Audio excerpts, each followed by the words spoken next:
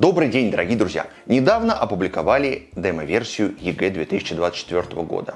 И там есть изменения. И об этих изменениях мы сегодня и поговорим. На самом деле изменений немного. Основное изменение это добавили новое задание в первую часть. И теперь за первую часть дают не 11 первичных баллов, а 12. Ну, потому что заданий тоже 12. Я бы отнес это скорее к хорошим новостям. Теперь немножечко проще, как мне кажется, будет набирать 70-80 баллов.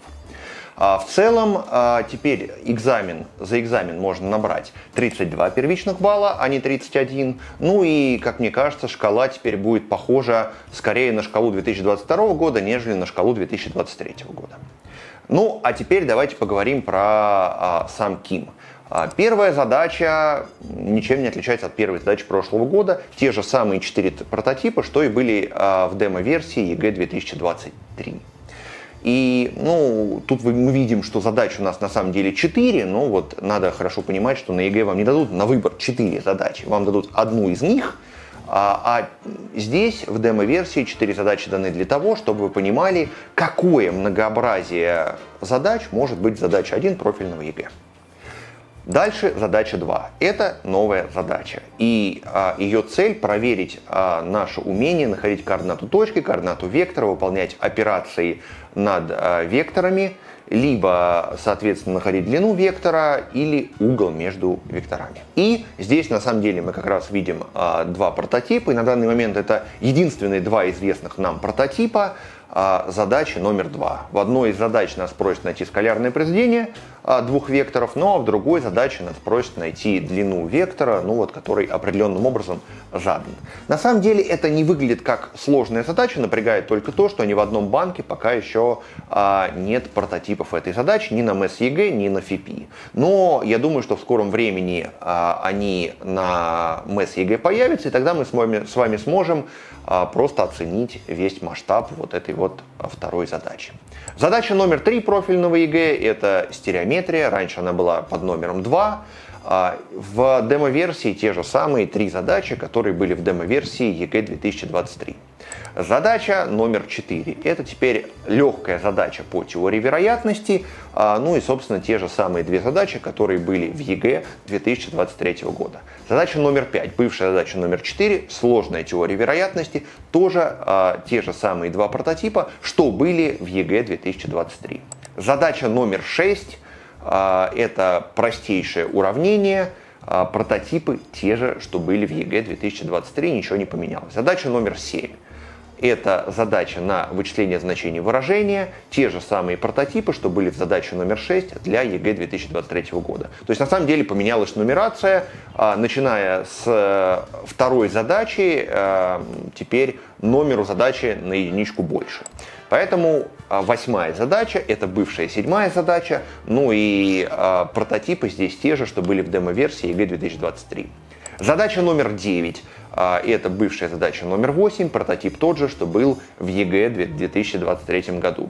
Задача а, номер 10 это та же самая задача номер 9, а, текстовая задача. Все три а, прототипа те же, что были в ЕГЭ 2023. И а, составители упорно пихают нам зачем-то первую задачу на течение, которую нет в банке ЕГЭ. Этой задачи нет. Поэтому если она у вас не получается, не отчаивайтесь, на ЕГЭ ее все равно не будет. Задача номер 11. Это бывшая задача номер 10. Умение работать с графиками. Собственно, задача хороша тем, что мало прототипов и легко и быстро подготовиться. Задача номер 12. Это, соответственно, нахождение наибольшего, наименьшего значения функции точки минимума и максимума, все прототипы такие же, как были на ЕГЭ в 2023 году. То есть на самом деле, а, если смотреть на первую часть, то а, добавилась вторая задача, во всех остальных задачах дали ровно те же прототипы, что давали в ЕГЭ в 2023 году. Вторая часть, вот тут а, чуточку интересней, 12 задача теперь стала 13, но прототип тот же, что был в ЕГЭ в 2023 году. А вот 14 задача уже прототип новый. 14 а задача, это бывшая 13 задача стереометрия, на самом деле по прошлому году это был основной гроб. То есть на самом деле это была а, самая плохая задача, которая есть в ЕГЭ. А здесь а, в демо-версии дан а, достаточно приятный и легкий прототип, который решается на самом деле в несколько строчек. Будет ли это означать, что тенденция по стереометрии меняется, и теперь вместо гробов по стереометрии будут давать легкие приятные задачи? Честно говоря, я не знаю, но очень хочется надеяться, что стереометрия все-таки будет решаемой для обычных людей тоже. 15 задача, неравенство, бывшая 14 задача. Здесь ничего не изменилось, прототип абсолютно тот же. 16 задача, экономическая задача, это бывшая 15 задача, и здесь взят прототип из ЕГЭ 2023 года. Ну, собственно, просто поменяли прототип, задача-то останется той же. Вот, задачка на такие хитрые и дифференцированные платежи, но экономическая задача, она достаточно быстро ботается, если ее правильно ботать. Задача 17, это бывшая задача 16, планиметрия, ну и, собственно, тот же самый прототип, что э, в демо-версиях появляется уже последние, наверное, лет 7. То же самое касается 18 задачи. Это задача с ЕГЭ, кажется, 2012 года. И вот они как поставили этот параметр в демо-версию, так они этот параметр упорно и не меняют. А вот задача 19, которая раньше была задачей 18, здесь опять же добавили задачу, из ЕГЭ 2023 года на такой э, простенький инвариантик, приятная задача. И вот на, надеюсь, что тенденция в задачах 19 не изменится.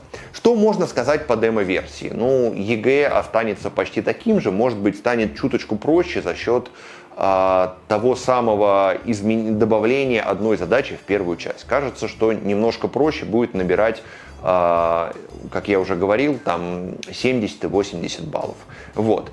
А, надеюсь, что а, проблемы, которые были в ЕГЭ в прошлом году, они э, уберутся, то есть стереометрия станет проще, не будет всяких приколов с неравенствами, и ЕГЭ станет по регионам более равномерным, то есть не будет такого гробового неравенства, как было в Москве, вот, а будут примерно вот равномерные по всем регионам неравенства. Вот такие изменения. Калькулятор на ЕГЭ, в отличие от ОГЭ, нам не добавили, ну и теперь ваша цель, если вам сдавать экзамен в следующем 2024 году, то вам следует готовиться. И начать готовиться можно, например, с нашего интернета интенсива, который пройдет 6 и 7 сентября, а, вспомнить все, где мы с вами за а, несколько занятий оперативно повторим самые важные темы, которые нужно знать в начале 11 класса. Тригонометрию, логарифм и производную.